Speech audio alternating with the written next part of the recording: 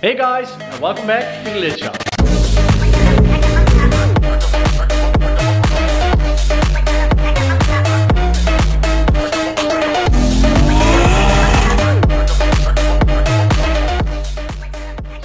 In this video we're actually starting earlier in the week than normal, than we're used to, because normally we just film uh, Friday and the weekend. Doesn't matter. But it's Tuesday, we're starting, and tonight Job is gonna start on his RB. He's gonna take the head off, and I'm gonna help him with it, because he's never done stuff like that. And I really appreciate what he's doing, because that's the same thing that I was doing, just learning by doing. Just fuck around to find shit out and that's exactly what I've been doing. And that is what he is gonna do with the RB25 just take it apart and see what happens. But first I want to put the Nissan inside because I want to change the engine mounts. I got new engine mounts because one is completely melted away it's gone. It's not supporting anything. So I'm gonna do that. Job is gonna do that. But first I need to get the Nissan inside. And it's actually snowing right now. We didn't even have much snow in the winter. But it's not really wintry weather lately. So I don't know where the snow is coming from. But we need to get the Nissan inside. So let's just do that. Let's give it a try. I don't think it's gonna turn on because it hasn't turned on the last few times I tried to start it. And now it's been sitting for a few days. Actually more than a week. Let's give it a shot. And I got no power. All right, let's try again.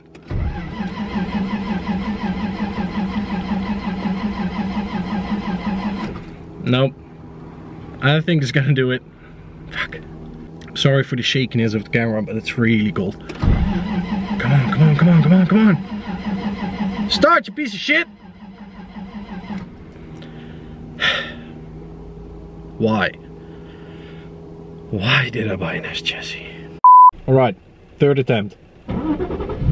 Yeah, totally not the Lexus that I'm gonna use with jump leads to start the Nissan.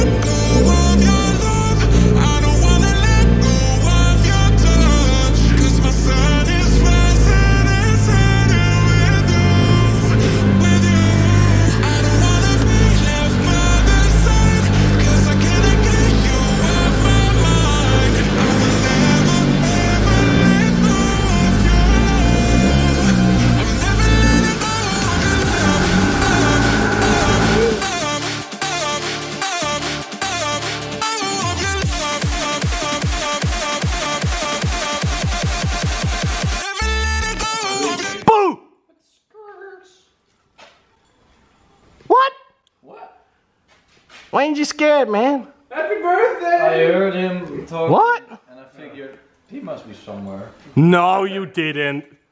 You didn't. So we put the RB on time, we put the timing marks where they should go, and it's not really a good sign that the timing belt itself is just not really tight at all. But it was on time, so that's a good sign. It should be good. And a plus side on having a really loose timing belt, you can probably just take it off like this. Don't have to undo the tensioner. Just pull a little bit and then it should come off. As I'm trying to get it off and not succeeding. Ah! Well, that didn't work.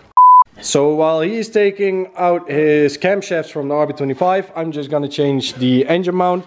And for comparison, this is a new engine mount, the same that I have currently on there, but it's not looking the same.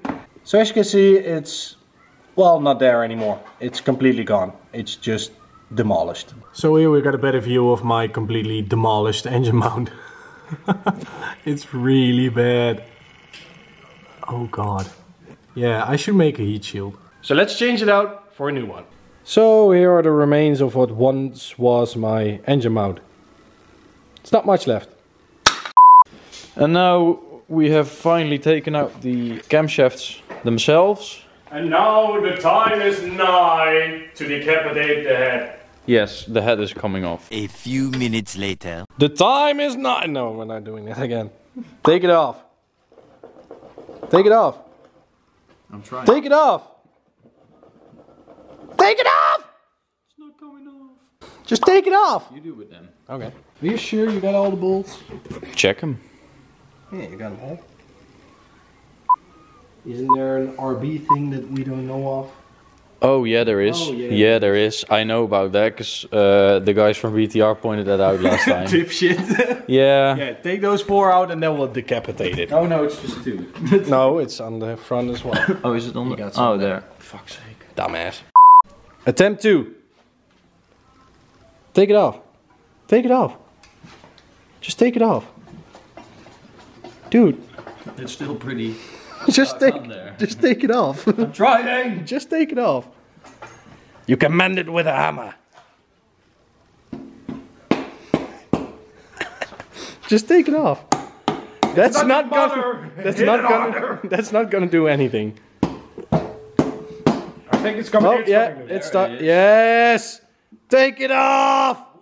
Woo! So yeah, now you made your RB25 officially completely useless.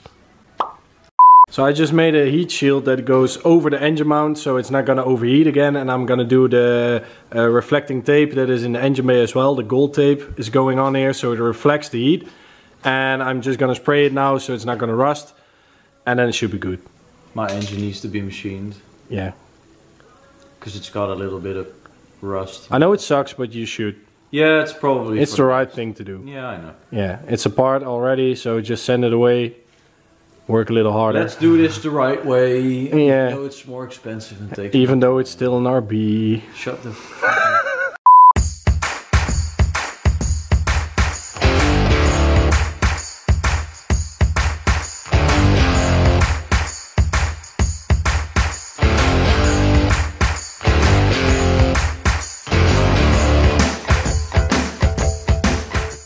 And just like that, the new engine mount with the heat shield and the reflective tape is officially in. And let's hope this one doesn't completely melt away. So I'm back in the shop and tonight I'm gonna play electrician.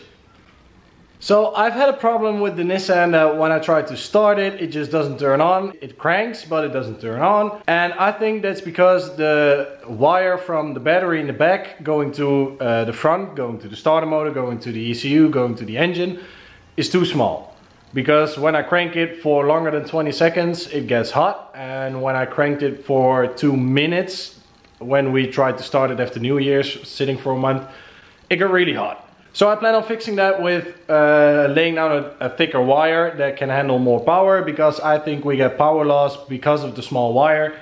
When I crank it, it drops to 6 volts and 6 volts is not enough to turn on an engine. So I'm gonna lay down a thicker wire. And here we have it. We got the thick wire, we got the quick disconnects for the battery, we got tools to cramp on the little eye thingies for the wire, and we got heat shrink. I also need to fix the alternator because it always stays on and when I don't disconnect the battery, I'm not able to crank the car even. So I need to fix that. So it turns off when I turn the car off and it doesn't drain the battery. So with the thicker wire and the alternator fixed, I should be able to start it whenever and wherever I want and don't need help from others. So let's fix it. So the wire comes from the back from the battery and it goes through here under the carpet, goes up there and then it comes out there, runs over here and goes to the fuse box over there. But now that I got the wheel off anyway, I'm gonna see if my 17 inch VSXX is gonna fit. I'm quite sure it's not gonna fit, but we're gonna test it anyways, just for fun. Uh, point it that way. No, it's completely on the caliper. No, that's never gonna fit. Sad. So a little update, I took out all the shitty wires. We got the quick disconnects on the battery. We got the wiring for my subwoofer and for the fuel pump. And now we're just connecting it up front.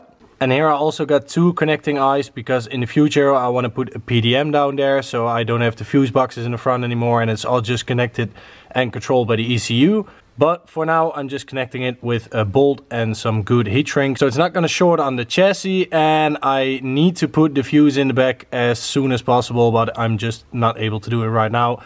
And tomorrow uh, we got a Supra coming to do some work on so I need to get off the lift and I just want to start it and drive it off the lift. So I'm just gonna finish this up, connect it up front, and then we're done. So I'm done for tonight. The new battery wire is in, the alternator is fixed. So I'm gonna go to bed because it's late and I'll see you guys in the morning when the Supra is here.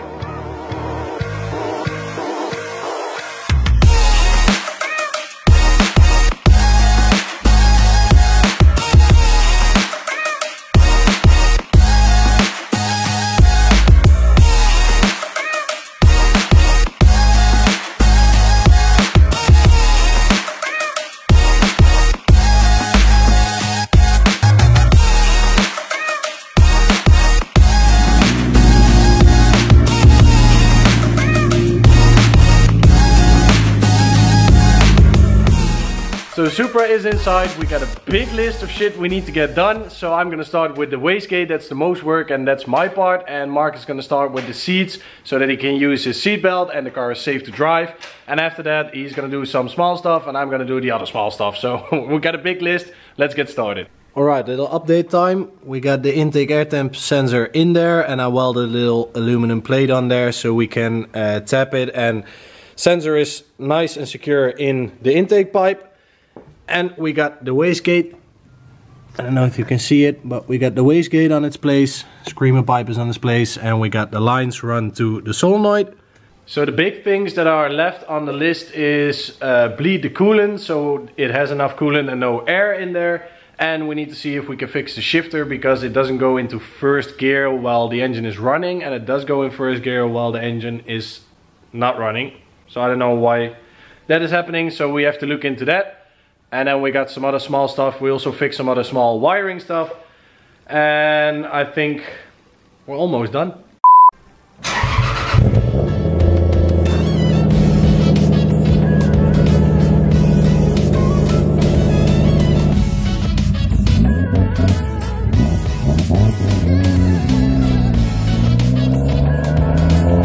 So the Supra drives, but I think it's safe to say that the turbo seals officially retired for good.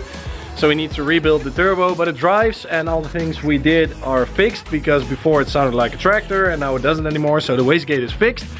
But now I think it's a cool opportunity to get two 1JZ cars, two really cool 1JZ cars next to each other. So let's get the Nissan outside.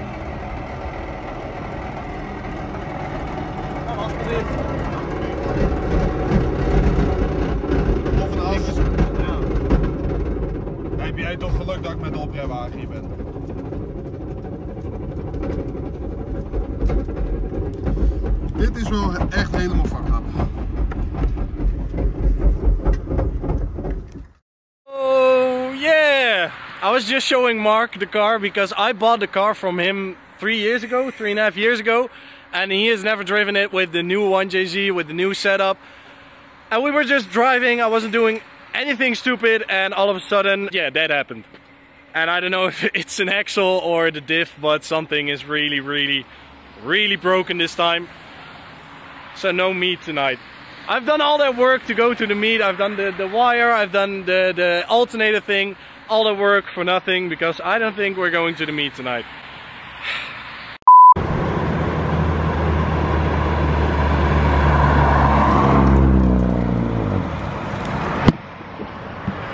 yeah, girlfriend to the rescue. So she picked up Mark because luckily Mark came with the trailer with the Supra on it to my place and the Supra is still there. So they're gonna pick up the trailer and then they're coming back. Way too loud. But Mark's coming back with the trailer and then we're gonna pick it up and drop it off at home. God, this sucks.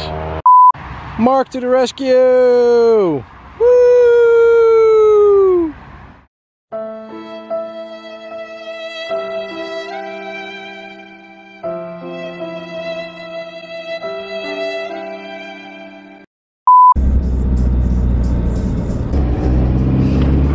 So the Nissan is back home on the trailer and we got another trailer because Bauke, little shit, it's got a new car and it's really cool.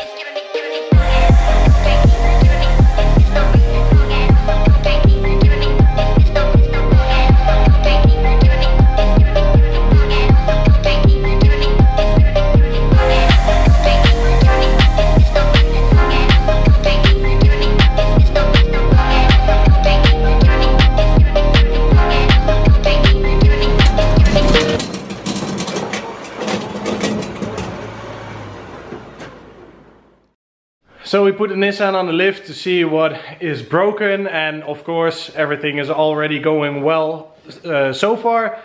So the lift st stopped working, it just doesn't go up anymore. But we could check what's going on and I think that the diff is missing some teeth.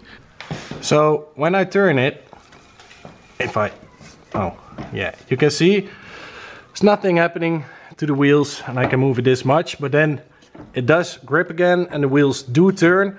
But if I come to the same point again, it's completely free. So it's just missing some teeth on this axle, on that wheel. And yeah, that's the end of my diff. And we actually wanted to go to a meet tonight, the last meet before it went on the lift permanently to do body work and even prepare the DCT swap because the plan is before Japfest UK I want to do the DCT swap and CBS is going to help me out so thank you and I think we're going to start early and I need to rebuild a diff but Mark probably has a diff for me so I think with those two diffs I can just bring it to the diff guy and he can build one good one and that should be fine and then we can put the DCT in and do the body work and then hopefully make it to Japfest UK. But for now, on this bombshell, on this bomber, it's time to end the video. I was kind of hoping to go to the meet tonight and test the launch control uh, some more, but I think that's not gonna happen. So, thank you for watching, I hope you enjoyed. Make sure to subscribe down below, drop a like if you're down there, and I'll see you guys at the next one. It's almost out. I'll Yeah, your engine mount shit. Yeah. But that's because you said to me when you swapped the engine, like, oh no, this engine mount definitely needs replacement and a heat shield. And I guess you never did that. No, I didn't replace it because it still was. It, it was quite okay. It wasn't good, but it wasn't like this.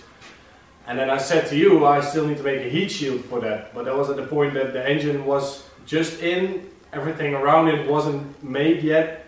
So yeah, a lot of stuff has happened in two weeks after that point. So Also a deadline with going to France in like one and a half months. that had nothing to do with this.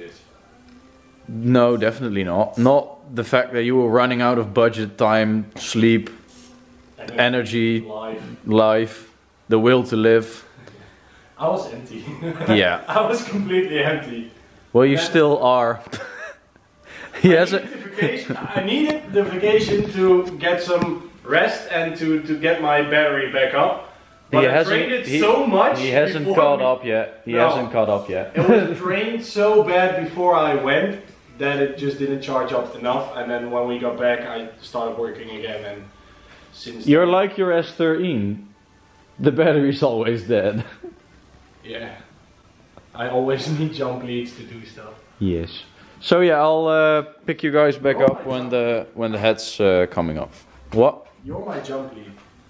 Because I, I have zero motivation to work here, and then you're just that annoying little kid that asks every day, "Come work on my engine, come work on my engine," and then sometimes I think, I think, yeah, my couch can wait tonight.